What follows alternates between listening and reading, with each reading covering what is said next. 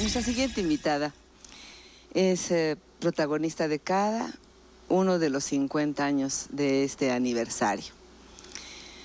Es eh, maestra de maestras, así como hubo y tuvimos y lo sentimos por aquí a un señor telenovelas, hay una señora telenovela, la dama de la escena.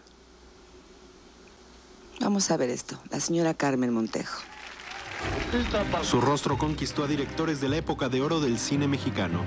A través de sus ojos, el público fue testigo de romances de película con actores como Pedro Armendáriz, Arturo de Córdoba y Pedro Infante.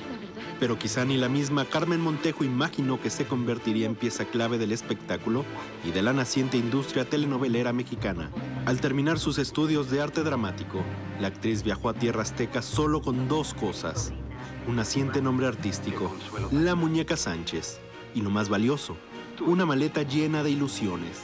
Talento, perseverancia y belleza fueron las tres armas que le abrieron las puertas del cine mexicano. Ya como Carmen Montejo, nombre otorgado por Chano Urueta, la actriz marcó su carrera el 6 de mayo de 1943, gracias a Resurrección, cinta dirigida por Gilberto Martínez Solares. Títulos como Nosotros los Pobres, No Matarás y ¿Qué te ha dado esa mujer? la popularizaron.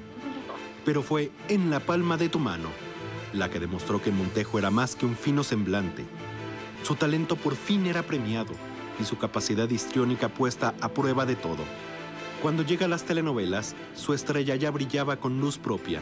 Su resplandor no opacó sus primeros trabajos en melodramas como El Rapto y Doña Macabra, o Destino, historia que arrancó suspiros a los hombres que noche a noche la seguían.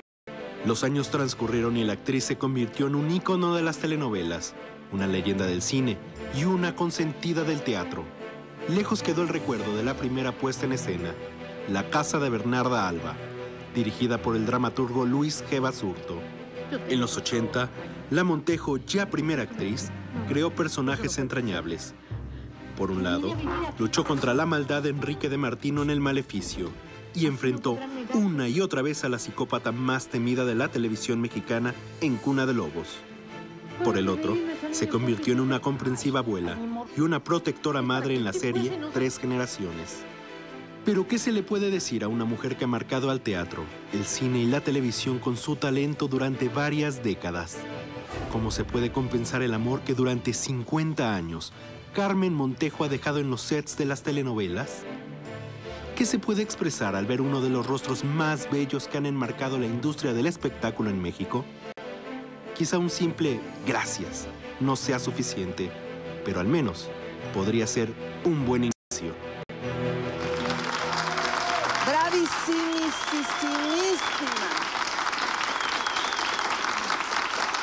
Bravísima, bravísima. Carmen Montejo, todos los técnicos, todos los compañeros, actores que están aquí atrás de cámaras, todos aplaudiendo a la maestra de maestras. Y que yo sinceramente, como este programa se llama Mentiras y Verdades, yo comienzo con una de mis verdades. Yo, si no fuera por esta señora que me ha hecho el favor de venir en esta ocasión, yo no sé dónde estaría, pero definitivamente no estaría sentada aquí frente al público, no estaría trabajando como actriz y a lo mejor ni me hubieran visto en mi vida, porque esta señora hizo definitivamente que yo entrara a trabajar, que siguiera adelante mi carrera y, me sacó adelante a través de una asamblea preciosa que pidió con la señora Dolores del Río y le debo mucho, le debemos mucho. Es nuestra maestra, es la señora actriz, la madre de todas nosotros. Perdónenme, pero yo sí le voy a dar un beso. Y me le hinco y le digo gracias, gracias de verdad, Carmen, por todo tu amor, tu cariño y tu entrega conmigo. Te amo y tú lo sabes. Y gracias a ti estoy aquí. Gracias de verdad.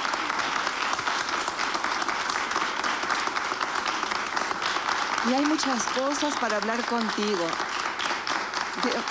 Hay muchas cosas, ya me emocioné, ya te emocionaste tú, pero este, aparte de decir mentiras y verdades, bueno, mira, me mandaron este como tipo libreto en donde aparecen cinco mil obras de teatro, 300 telenovelas, eh, o sea, cine, toda una vida en escena. Has dejado tu vida aquí, has dejado tu tiempo, tu espacio, tu familia, tu, tu entrega. ¿Qué, qué, qué, qué, qué es esto?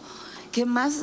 O sea, nos estás enseñando demasiado. ¿Cuándo va alguien poder por lo menos pensar a llegar a acercarse a, a lo que tú has hecho en, en- en lo que es el arte?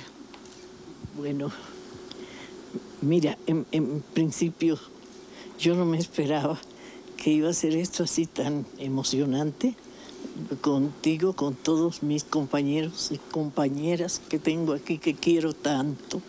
Sí, y mi época sí estuvo un poco falta en mi época. Sí. Eh, ahorita también eh, hay pocas de mi época.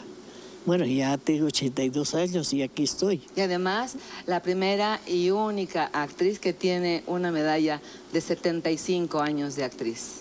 Eso Es la primera, la única actriz en México que tiene la medalla de los 75. de los 75 años trabajando. Dios mío, no, ¡Ay! Es mucho.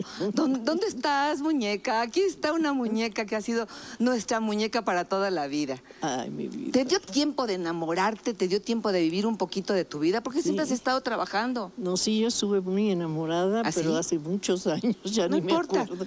Cuéntanos, Ay, cuéntanos. tengo- Queremos saber el chisme completo. Cuéntanos una verdad aquí. Pues aquí está la verdad, Ajá. esa mujer que es mi hija, Yo sé. que es aquí fruto de ese amor. Mi hija ya tiene un poquitito más de 50 años. Ajá.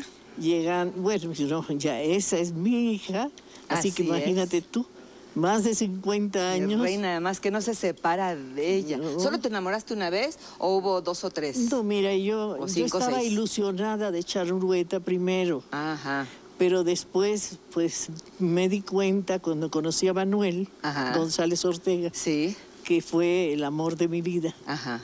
Entonces me di cuenta que no iba a haber ningún después de Manuel, ningún antes. De Y de Manuel. hecho no hubo. Nada, no hubo.